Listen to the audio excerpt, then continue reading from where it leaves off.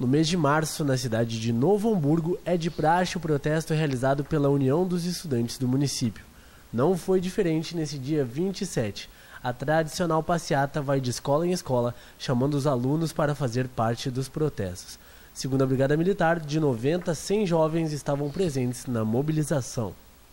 Então, ah, a nossa pauta central é o passe livre e assistência estudantil, que mais de 70% dos jovens que evacuam da escola não têm condição de se manter. Então a gente luta por isso para que o estudante se mantenha na escola e consiga concluir o ensino médio. Algumas escolas não quiseram liberar os alunos para fazer parte do protesto.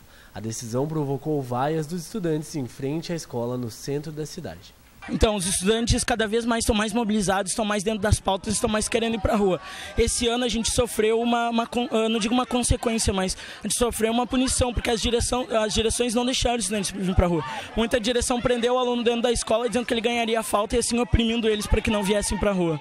Matheus acredita que as manifestações a nível nacional também motivam a juventude estudantil a lutar pelos seus direitos. Sim, isso contribui. Independente de direita e esquerda, o povo está em busca do, do seu direito e o que já era para ter vindo há muito tempo e agora a gente está se mobilizando e vamos conquistar isso.